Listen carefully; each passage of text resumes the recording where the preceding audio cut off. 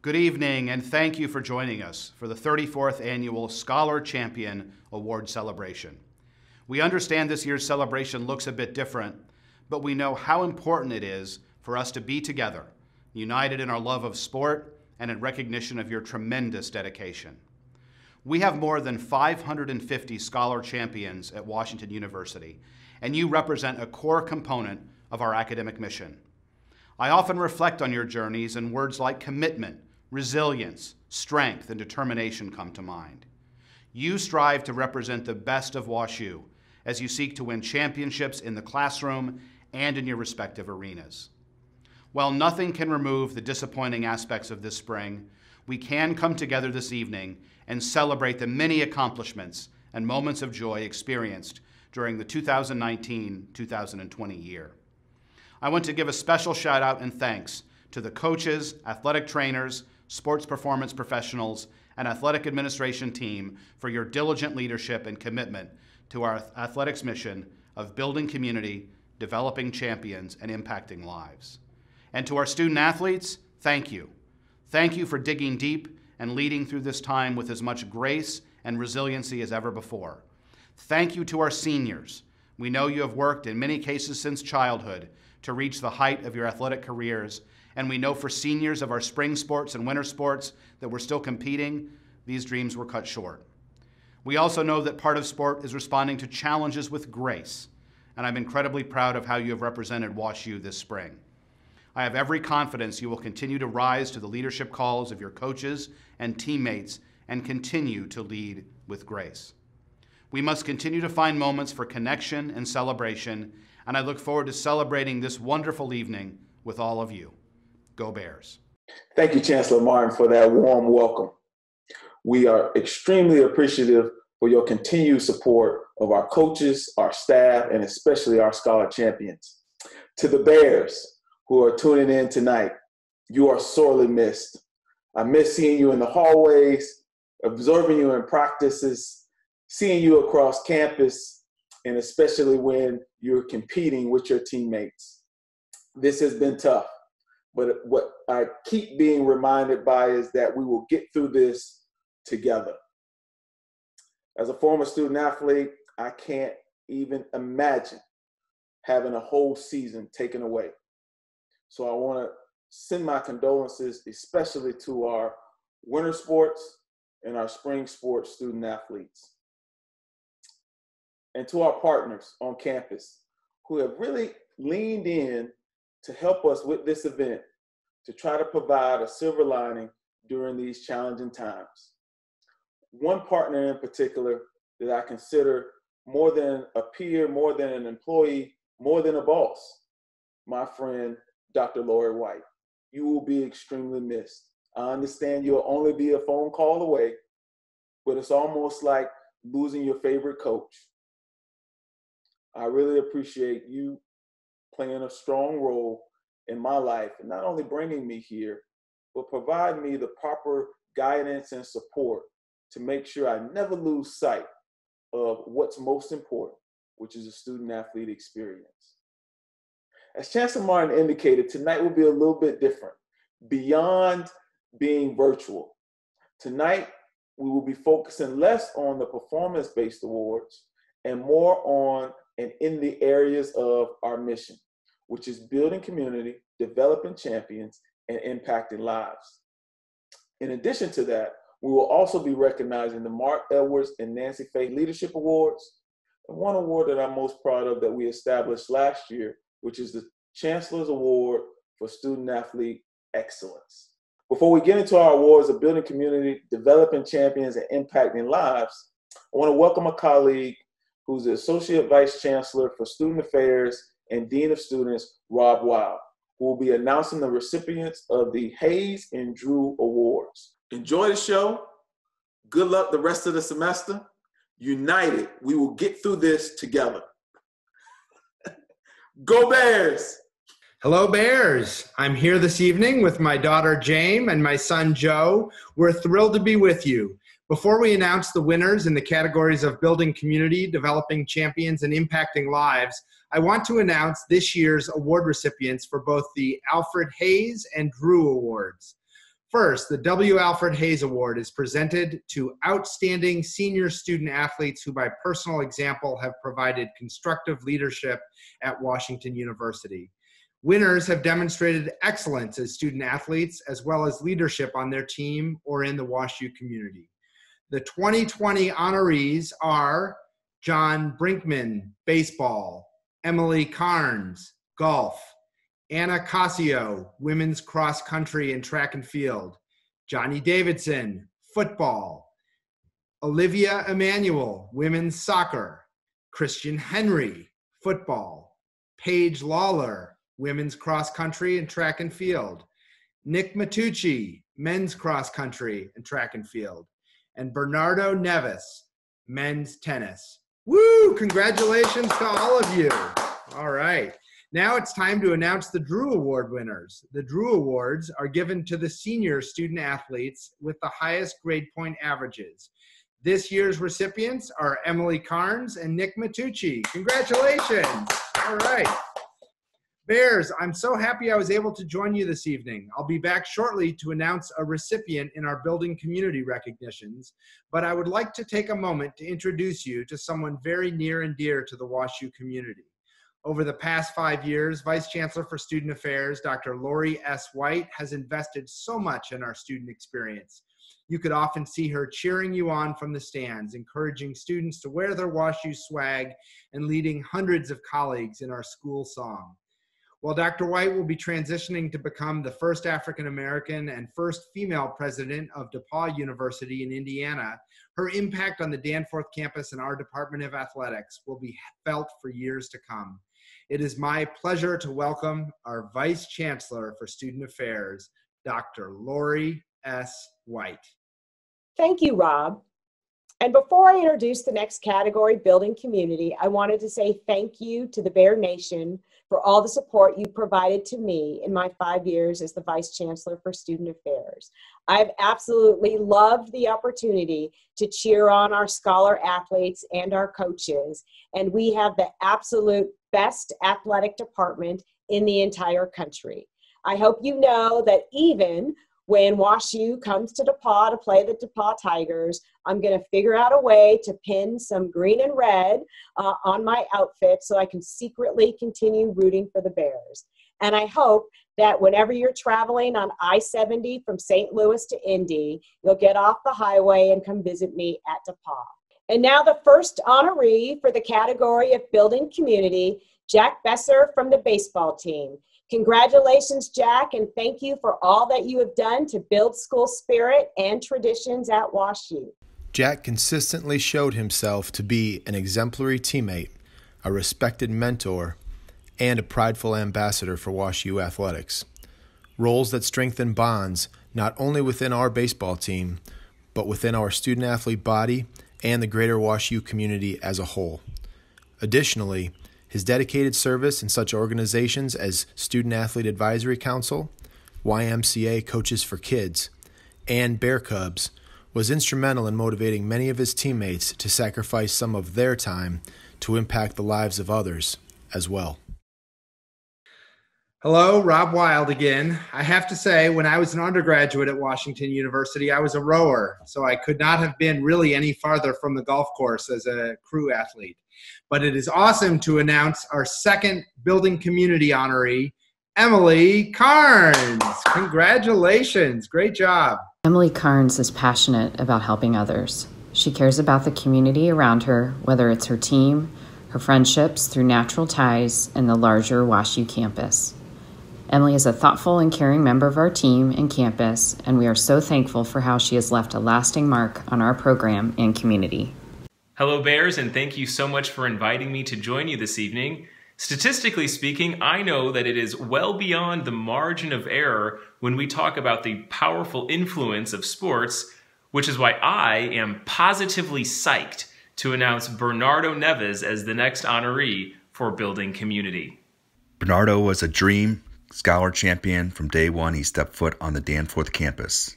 I can say with certainty he was as prepared a student athlete as I've ever coached in my 19 years at WashU. Good evening. I'm Cheryl Mauricio, Associate Dean for Student Conduct and Community Standards. My family and I really enjoy rooting on the Bears, which makes this opportunity to be with you tonight very special. I'd like to introduce the next honoree for men's soccer, Isaac Pulitzer. What do you say? Go Bears. Go Bears. Isaac Pletzer is unassuming, respectful, accepting, inclusive, motivated, positive, self starter, among other things. His being Isaac built community in our team every day for four years. Bears, I miss seeing all of you compete, and I look forward to cheering you on in the future. To round out the category of building community, our last honoree is Marco Coroni. Congratulations. Marco Coroni helped build community through selflessly taking pictures at every sporting event on campus and sometimes off. Marco took his talent and passion for photography and used it to give back to the campus by helping capture special moments for different teams on campus.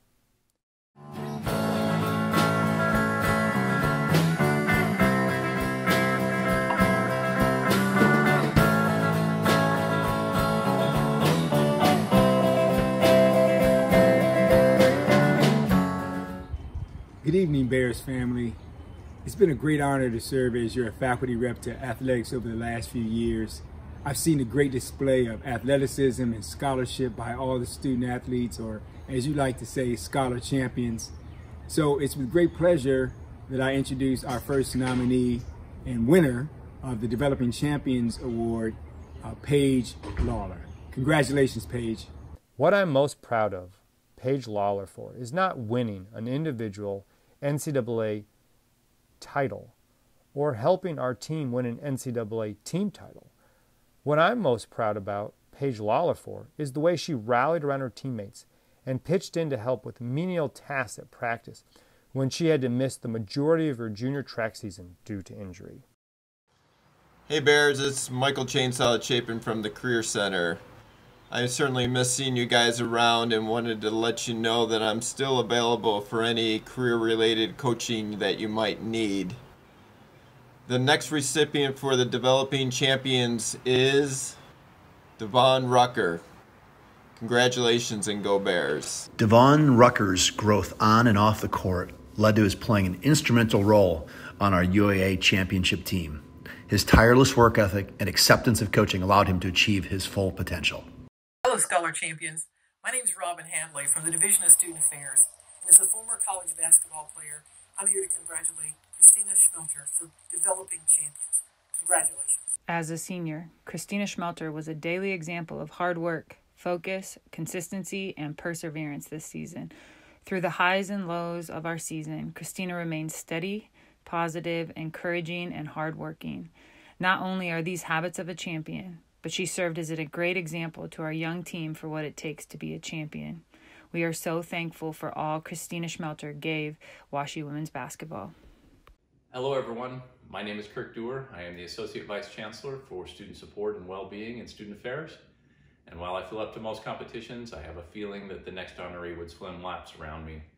From our swimming and diving team, congratulations, Molly Seidner. Molly Seidner's ability to balance expectations in the classroom and in the water set a bar for our team over the last four years.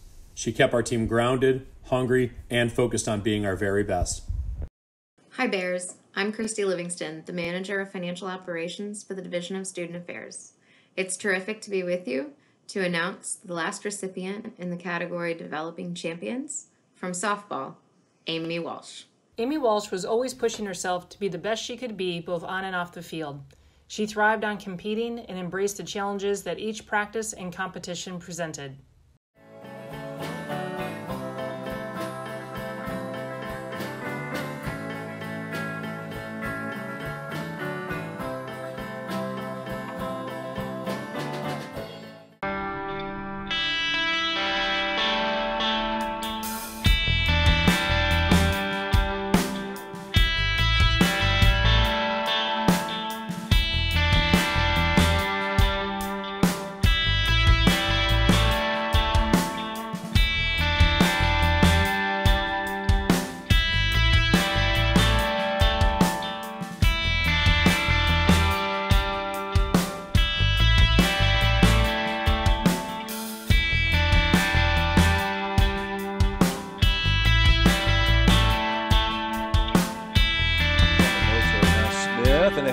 Down and in the back of the net. WashU gets the early lead, and I guess that was Wolf. Paul Carr, can she get to it? Loose ball. Carl, can she get a shot away? Goes to her left, shoots, and it's in the back of the net. WashU scores and wins it. 151. WashU has a chance here. The cross and the boot and a score.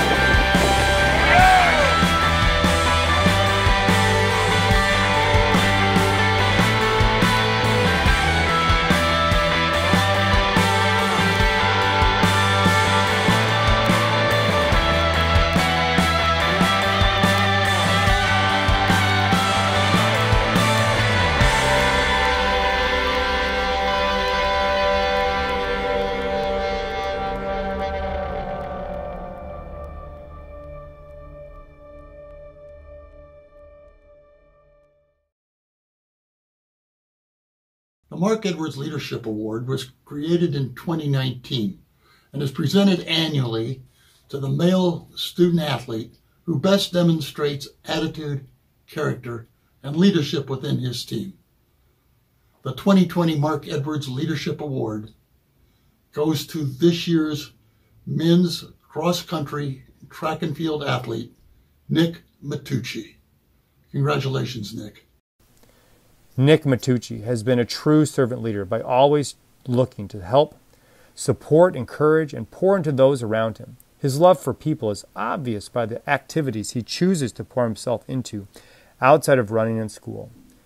He helps lead the team Bible study and assists with Bear Cubs, both of which I see give him great joy and purpose. The Nancy Fahey Leadership Award was created in 2018 and is presented annually to the female student athlete who demonstrates attitude, character, and leadership qualities within her team. This year's winner for the 2020 Nancy Fahey Leadership Award is women's soccer player Taylor Cohen. Congratulations, Taylor. Taylor Cohen finds a way to bring joy to any situation. She is a fierce competitor and has been a major impact in 70 plus wins. But more importantly, she is an amazing friend, teammate, daughter, and leader that makes your day better with a smile and a kind sentiment. Hi everyone, this is Ellie Davis from the admissions office, and it is my pleasure to be with you to announce the next honoree from swimming and diving, Peyton Wilson. Peyton Wilson had an infectious competitive spirit in both practices and meets. He thrives on racing, and his grit and energy brought the level of excitement in the pool and the weight room to a fever pitch. The next award winner for impacting lives is women's tennis scholar champion Sanjana Tripathi. Congratulations. Sanjana Tripathi has embraced all the qualities and attributes of what being a Wash U Bears Scholar Champion embodies. From the moment Sanjana chose to be a bear, she has chosen to impact the lives of those around her in the medical world, in the classroom, on the tennis court, and in our Wash U community, St. Louis community. Without any need for credit or fanfare, Sanjana selflessly has impacted the lives around her as she has a passion to support others and to make a difference in the world. Hello, Bears. As we wrap up the awards for impacting lives, I want to take a moment to thank you for your outstanding contributions to the Wash U community. Your commitment and dedication are truly inspiring. And now for the final honoree in the area of impacting lives. Eka Jose. Congratulations, Eka. Eka Jose impacts everyone around her through her gentle spirit while still being a fierce competitor. I watch the way she supports her teammates and seeks to affirm them instead of seeking out the limelight for herself, as a true embodiment of what it means to be a part of something bigger than yourself.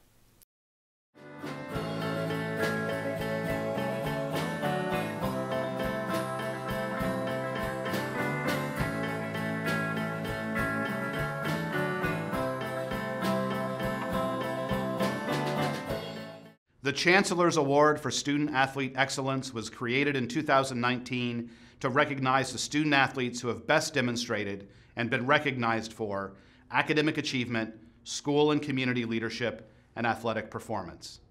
I am thrilled to present the 2020 Chancellor's Award as a co-award.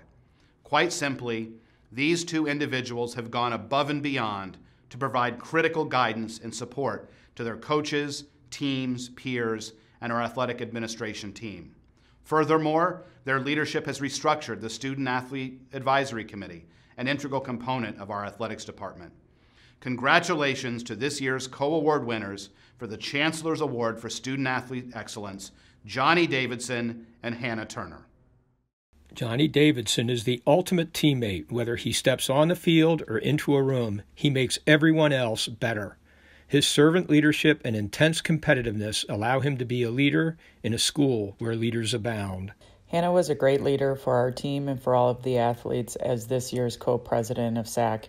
She is organized, a hard and diligent worker, is constantly positive, and has the ability to guide others towards a common goal. Thank you for joining us this evening as we celebrated all of you during the 34th Annual Scholar Champion Award celebration. We conclude this evening with a special video highlighting the tremendous journey of being a scholar champion at Washington University. To our seniors, thank you, thank you, thank you. And remember, once a bear, always a bear. Dear Bears Nation, a story is supposed to have a beginning, middle, and end.